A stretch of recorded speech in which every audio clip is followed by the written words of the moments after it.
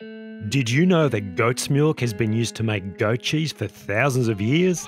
And with good reason.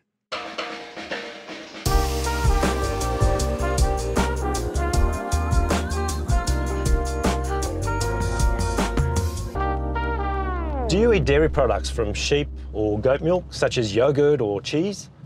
If not, let me show you why I think you should.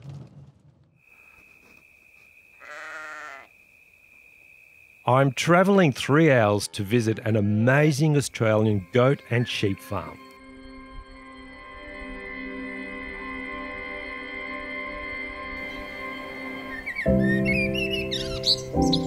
We are just amazed on the benefits and the nutritional values and the disease protective properties of goat's milk.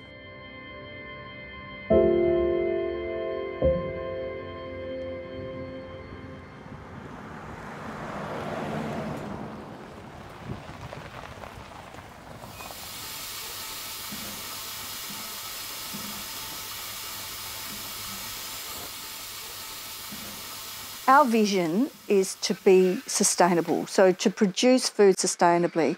And I'm not just talking about producing the cheese in a sustainable way, but growing the grass and managing the soil and being responsible for the water uh, and, the, and the environment. Meredith Dairy is a great example of sustainable and responsible farming. For power, they use renewable energy from all these solar panels. To eliminate gas consumption, they heat water using old wood chips in this wood fire boiler. They also replenish the soil nutrients and have planted thousands of trees. This side of the road was um, a gravel pit. So what we did is we collected seed from the plants that grew in this little patch here, which was remnant, and we grew all these trees from seed and planted them. I just want to show you this, these native grasses. I thought, right, this has got to be protected so that it can regenerate. This grass is known as kangaroo grass. It's a type of wheat used by Australian Aborigines to make a type of bread known as damper.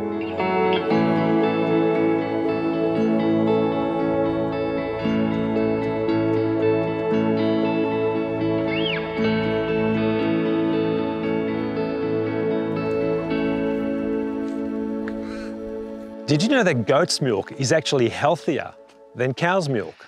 We got phone calls and emails from uh, consumers who basically were allergic to cow's milk and couldn't uh, or hadn't had an alternative to milk or cream.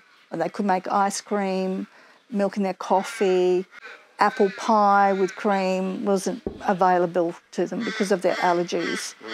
So suddenly, when we were milking the sheep, we're making our, our yogurt, which is it's quite a thick product, and often quite sweet naturally because of um, the way that the milk content is. And so we we were able to offer the consumer an alternative to cow's milk. If you're lactose intolerant or have any other dairy allergies, chances are that goat cheese won't be a problem for you.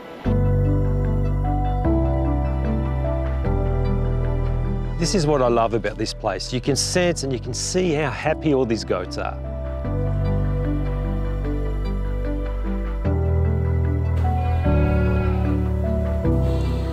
The goats have access to shelter and they always have fresh straw to eat. Okay, let's go to the cheese factory now.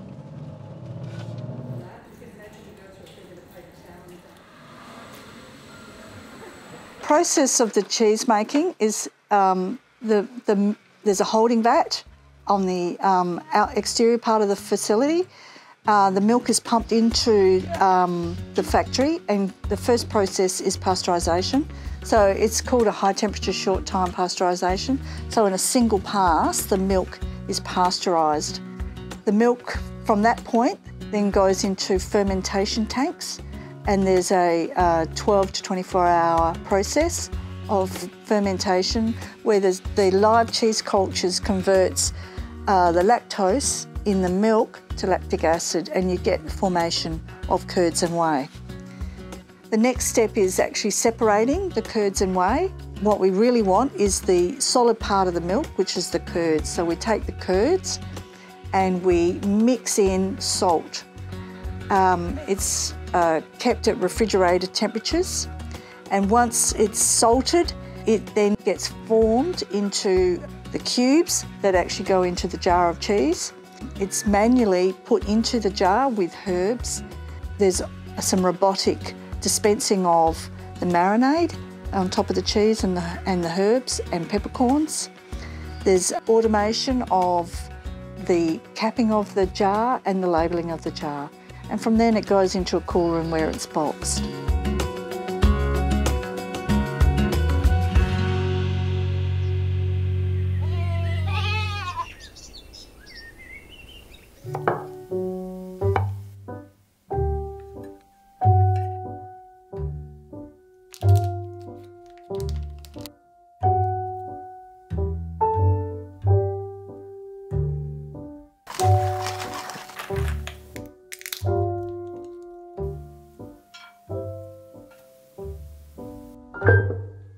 When we make our yogurt, the, the milk comes um, from the holding vat into a large tank, which is called a batch pasteurisation process tank.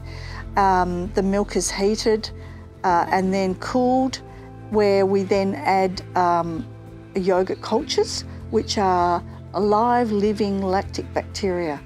So when the milk is at the perfect temperature, these live, living lactic bacteria are, are able to divide.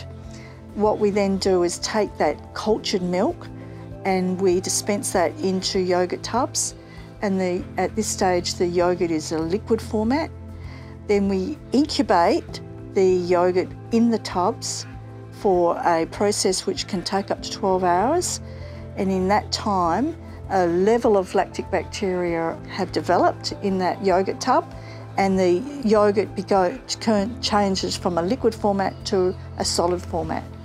Uh, a level of acidity is measured, and when it reaches that level of acidity, which is that sourness you get in yogurt, it's then refrigerated and the whole process slows down. Once the product reaches the retail outlets, that yogurt still has live, living, viable bacteria, which are friendly bacteria. So when you eat the yogurt, that bacteria populates your intestines and it um, keeps your whole body and your gut biome in a healthy state. What is your favourite dish using goat cheese? Um, I liked the I like the yogurt just with mango. I think it is an, just such a beautiful natural product.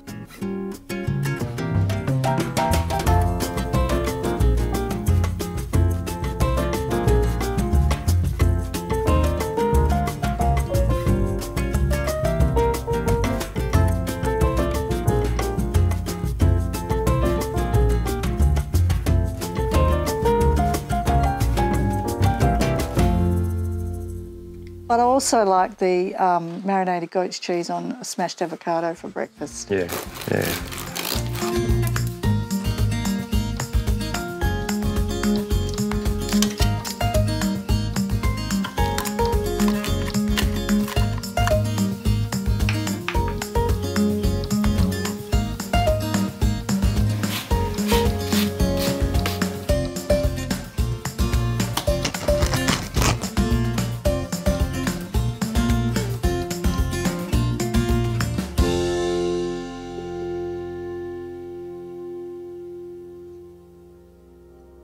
I really love standing in a supermarket and seeing our cheese in someone's trolley yeah. and actually see that, that someone grabs the cheese and scans it across the, the supermarket cash register. And I think, oh my God, someone's just bought a jar of our cheese. I thought, well, of course they do. We make thousands of them in a day. Someone's out there buying it. But I still get that wow, that person is actually going to eat our cheese yeah, feeling. Because you so see it in You just see someone's taking that home. Or I'd be in a local fruit and veg shop and I see someone grab it off the shelf and I sort of think, wow, that person's going to be eating our cheese. Makes me really quite, whew, you know, that someone's actually going to take that home and enjoy that product.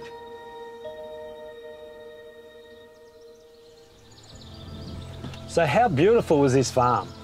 I hope this short documentary has brought you some insight into goat and sheep farming. That's what these videos are about, about making better buying decisions. And now, I'll see you in the next one.